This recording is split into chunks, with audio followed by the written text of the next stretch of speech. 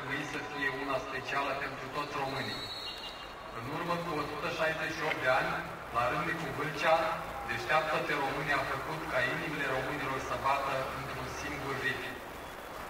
De altfel, ziua imnului național a fost fixată pe 29 iulie, tocmai pentru a comemora acest moment al Revoluției de la 1848.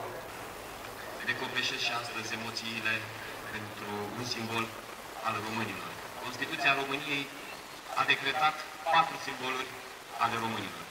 Imnul, tricolorul, stema României și sigiliul României. Aceste patru simboluri ne fac de fiecare dată să privim cu emoție ceea ce au făcut înaintașii noștri, să privim cu demnitate prezentul, dar să ne gândim de fiecare dată la viitorul nostru. Deșteaptă pe române este un moment de glorie pentru poporul român și de fiecare dată trebuie să-l privim cu mândrie fie ca imnul național al României să fie rugăciune. Rai!